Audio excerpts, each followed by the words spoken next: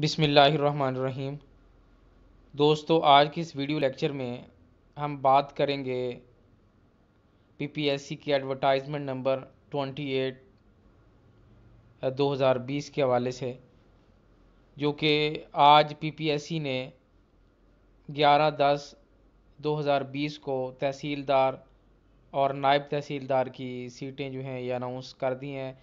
पहले ये अपकमिंग में थी तो आप लोगों को इन्फॉर्म किया था कि रेवेन्यू डिपार्टमेंट में जो तहसीलदार और नायब तहसीलदार की सीट्स जो हैं वो अपकमिंग में आ चुकी हैं। लेकिन आज जो है 11 अक्टूबर 2020 को पीपीएससी ने एक्सप्रेस और द नेशन न्यूज़पेपर में ये सीटें बाकायदा अनाउंस कर दी हैं बाकायदा एडवर्टाइज कर दी हैं और पीपीएससी की वेबसाइट पे भी ये जो है एडवर्टाइजमेंट आ चुकी है।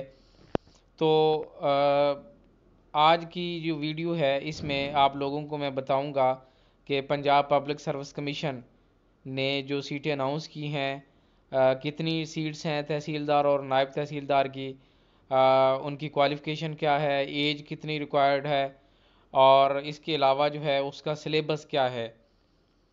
तो सबसे पहले हम स्टार्ट करते हैं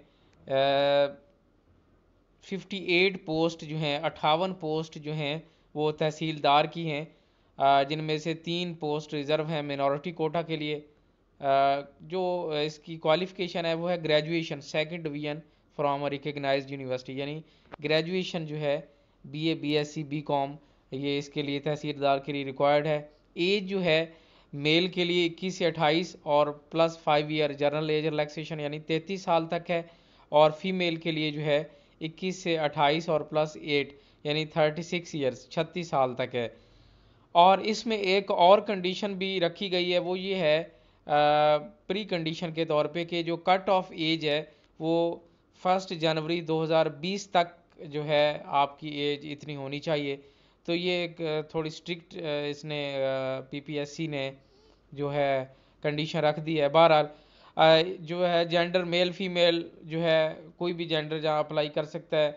पंजाब के डोमिसाइल होल्डर्स ठीक है एनीवेयर इन पंजाब पोस्ट किया जाएगा। सिलेबस क्या है? सिलेबस के हवाले से ये है कि जो तहसीलदार है, उसका रिटर्न एग्जामिनेशन में 200 नंबर के दो पेपर होंगे।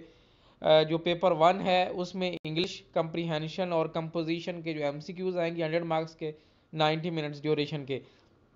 और जो पेपर टू है इसमें जनरल नॉलेज का जो आम पीपीएससी के दिगर पोस्ट के लिए होता है उसमें जो सिलेबस है, Pakistan studies, Islamic studies, general knowledge current affair, everyday science, Urdu वगैरह, ये सेवेंटी परसेंट आएगा। और IT skill, software MS office, electronic record keeping है, इंटरनेट है, ईमेल है, ये थर्टी परसेंट है। यानी सौ नंबर का इस तरह से दूसरा पेपर आएगा।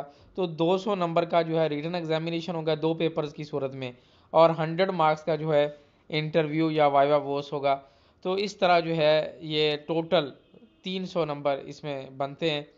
तो ये डिटेल थी तहसीलदार के हवाले से। इसके बाद जो है, जो कैंडिडेट्स जो पासिंग मार्क्स हैं वो फोर्टी हैं, लेकिन जो इंटरव्यू में जो मार्क्स होंगे, वो फिफ्टी होंगे। यानी एग्रीगेट फोर्टी परसेंट हर पेपर में आपके होने चाहिए और एग्रीगेट आपके फिफ्टी परसेंट बनने चाहिए।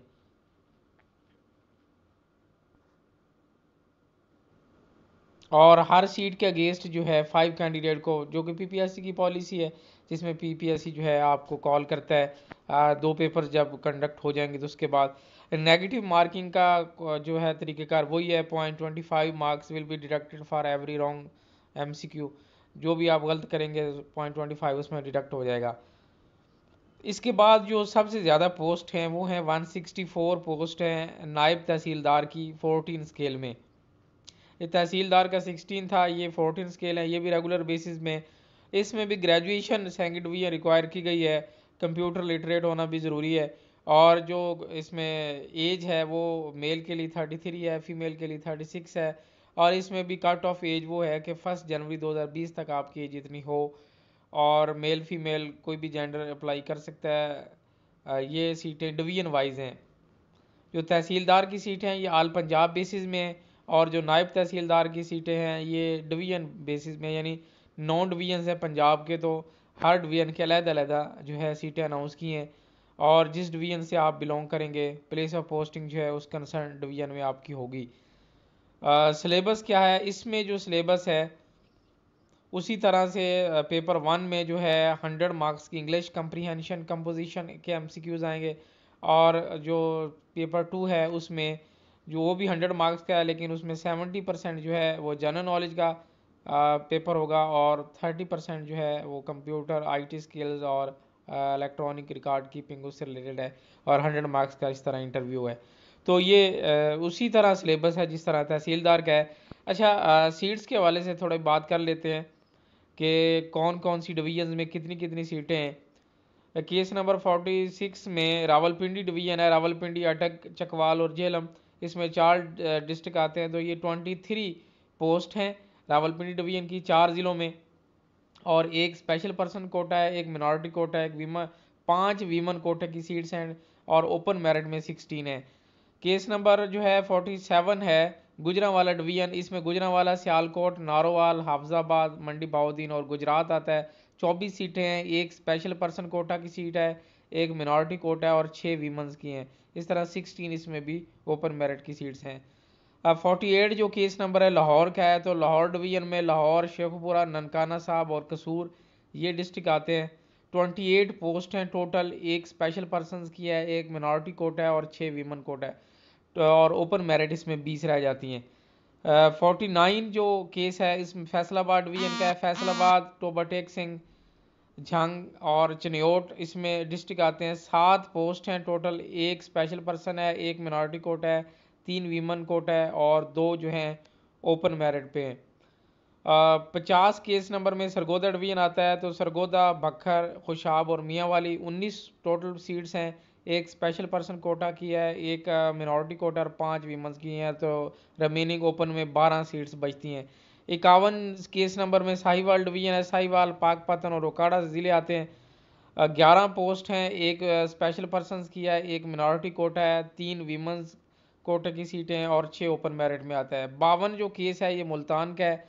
मुल्तान, खानेवाल, लोधरा और विहाड़ी, ये डिस्ट्रिक्ट आते हैं। बाईस टोटल पोस्ट हैं। एक स्पेशल पर्सन है, एक मिनॉरिटी कोटा है, तीन वीमेंस की हैं और छः रिमेनिंग जो हैं ओपन मेरिट में। और तिरपन में डेरा गाजी खान डिवीज़न आता है। डीजी खां, मुजफ्फरगढ़, राजनपुर और लिया ज़िले आते हैं। सोलह सीटें हैं, एक स्पेशल पर्सन एक मिनॉरिटी और चार जो हैं वीमेंस की हैं रिमेनिंग दस ओपन में बचती हैं। चौवन जो केस नंबर है, भावलपुर डिवीज़न का है, भावलपुर रहीमयार खां और भावल नगर। चौदह पोस्ट हैं, एक स्पेशल पर्सन की, एक मिनॉरिटी की और पाँच वीमेंस की। तो रिमेनिंग सात पोस्ट जो हैं ओपन पे।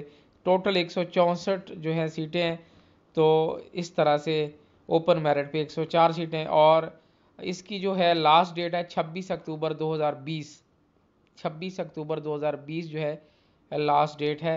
तो नेक्स्ट वीडियो में इन ताला जो है, इसके सिलेबस के हवाले से जो एम हैं, और डिस्कस किए जाएँगे, आप लोगों के साथ शेयर किए जाएँगे। पास्ट जो पेपर्स होते रहे तहसीलदार और नायब तहसीलदार, उसका क्या क्राइटेरिया था, उसमें क्या क्या पेपर आए तो मज़ीद वीडियोज़ के लिए हमारे साथ रहें और देखते रहें हमारा channel thank you for watching अल्लाह हाफिज़।